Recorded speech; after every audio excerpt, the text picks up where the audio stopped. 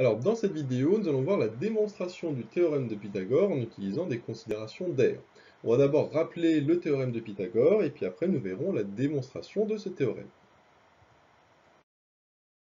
Donc le théorème de Pythagore, c'est dans un triangle rectangle, c'est-à-dire un triangle qui possède un angle droit, et on va noter petit a et petit b, la longueur des côtés qui forment l'angle droit. Le troisième côté, qui est l'hypoténuse, on va le noter petit c. Le théorème de Pythagore nous permet alors d'écrire l'égalité suivante. a carré plus b carré est égal à c carré. Déjà, on voit que toutes les longueurs sont au carré. D'un côté, il y a une somme qui correspond à la somme des deux côtés qui forment l'angle droit, donc petit a et petit b.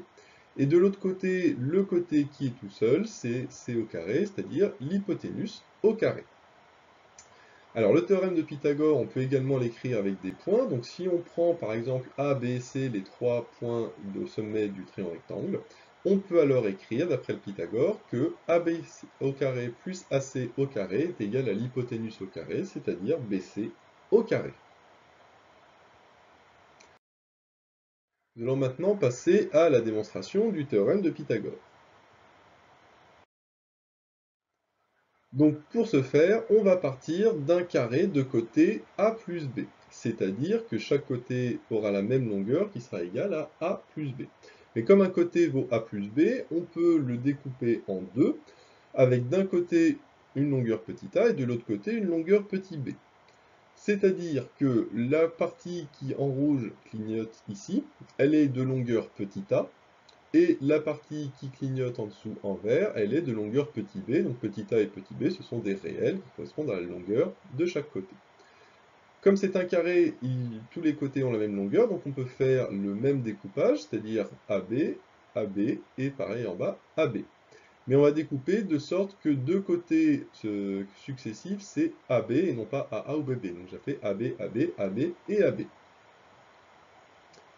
Maintenant, ce que l'on peut faire, c'est relier deux séparations, par exemple ces deux séparations ici, ce qui nous donne un triangle rectangle avec un angle droit, et les côtés qui forment l'angle droit, c'est petit a et petit b comme précédemment. Et donc ce triangle rectangle, va le reproduire en bas. Donc on a un triangle rectangle avec l'angle droit, et on vient de voir que les côtés qui forment l'angle droit, c'est petit a et petit b. Et donc le troisième côté, comme tout à l'heure, on va le noter petit c. Et ce qu'on va faire, c'est que ce triangle rectangle, on va le dupliquer, et on va en mettre un là où on vient d'enlever le précédent, et on peut aussi le dupliquer en le mettant dans le coin supérieur droit, parce que c'est aussi le côté petit a et petit b. Pareil dans le coin inférieur gauche, et enfin, pour terminer la figure, on en met un dans le coin inférieur droit. Les côtés à l'intérieur sont de longueur petit c, puisque à chaque fois ça correspond à l'hypoténuse de chacun des quatre triangles rectangles.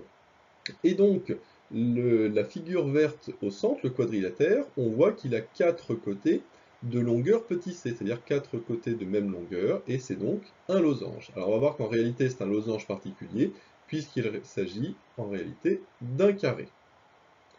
Alors pour montrer que ce losange est un carré, il faut montrer qu'un des angles est un angle droit. Donc on va prendre par exemple l'angle qui est en haut, qu'on va noter petit x, et le but c'est de montrer que petit x vaut 90 degrés pour montrer que c'est un angle droit. Pour ce faire, on va considérer les deux autres angles à droite ici alpha, et à gauche bêta, qui sont des angles, on voit des triangles rectangles, et donc ils se retrouvent sur la figure d'en bas. Donc alpha, c'est l'angle entre petit a et petit c, et bêta, c'est l'angle entre petit b et petit c. Et donc maintenant, vous allez pouvoir passer au calcul un triangle rectangle en bas, on sait que la somme des angles vaut 180, c'est-à-dire que alpha plus bêta plus 90 égale 180. Donc si je passe le 90 de l'autre côté, c'est moins 90. 180 moins 90 nous donne 90, donc alpha plus bêta vaut 90. Maintenant, si je regarde sur le grand carré, l'angle que je vais tracer ici en vert, je vois que c'est un angle plat. Et donc, un angle plat, on sait qu'il vaut 180, en tout cas la somme des angles qui le composent vaut 180. C'est-à-dire que x plus alpha plus bêta est égal à 180. Et donc comme alpha plus bêta vaut 90, je peux remplacer, ça me donne x plus 90 égale 180. Et comme tout à l'heure, le 90, je passe à droite, ça fait 180 moins 90, ça fait x égale 90 degrés. C'est-à-dire que x est finalement un angle droit. Donc j'ai bien un carré au centre, puisque j'ai un losange qui possède un angle droit, donc c'est un carré. Nous allons maintenant passer au théorème en lui-même. Donc on va considérer l'aire du grand carré de côté A plus B. Comme c'est un carré, je sais que c'est côté au carré, donc A plus B au carré. C'est une, identité remarquable que je peux développer, et donc je trouve A carré plus 2AB plus B carré. Mais le grand carré est aussi composé des quatre triangles rectangles et du carré vert au centre, et donc je peux dire que l'aire du grand carré, elle est aussi égale à l'aire des quatre triangles qui clignotent en rouge, plus l'aire du carré central, hein, qui clignote en vert. Maintenant, en termes de calcul, je sais que l'aire d'un triangle rectangle, c'est a fois b divisé par 2, et comme il y en a 4, il faut que je multiplie par 4, donc ça fait 4 fois ab sur 2. L'aire du carré, c'est côté au carré, c'est-à-dire petit c au carré. Et donc, si je simplifie le 4 et le 2, ça me fait 2, et donc le résultat me donne 2ab plus c carré.